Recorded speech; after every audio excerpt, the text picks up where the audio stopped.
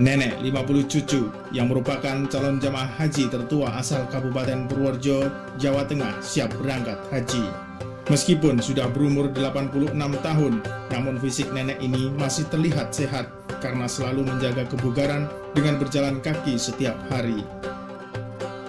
Bastia, warga desa Tursino, kecamatan Kuroarjo, Kabupaten Purworejo, Jawa Tengah, masih terlihat sehat.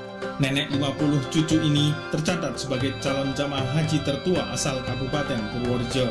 Sejak kecil, nenek ini memang bercita-cita ingin berangkat ke Tanah Suci untuk menunaikan ibadah haji.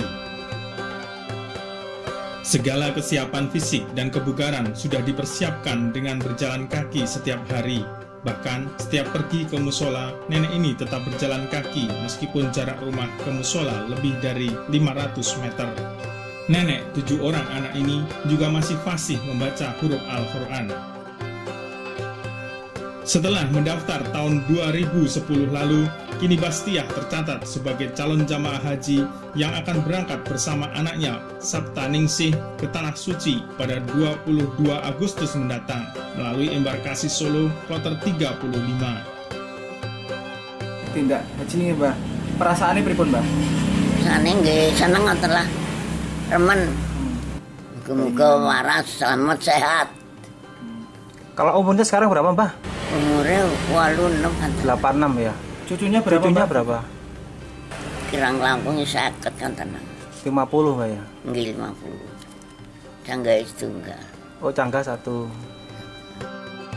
Lahir pada tanggal 3 Juli 1930, nenek 86 tahun ini tercatat di kantor Kemenak Kabupaten Purworejo sebagai calon jamaah haji tertua asal Purworejo.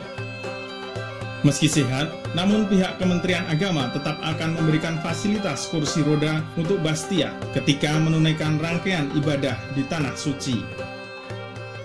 Bastiah pun mengaku senang dan bersyukur bisa berangkat ke Tanah Suci untuk berhaji.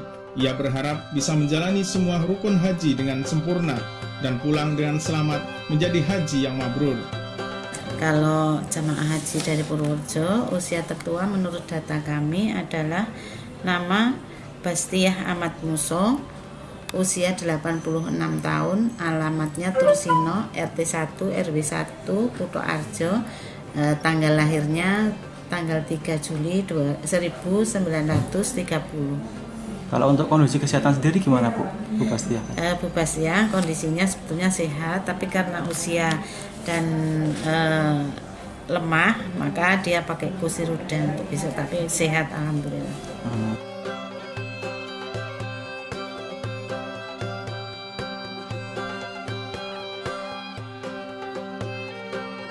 Demikian, R. Heksantoro Baglen Channel melaporkan.